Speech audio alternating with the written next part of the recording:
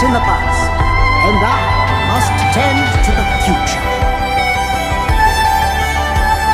The year of the peacock begins now! With a little bit more effort.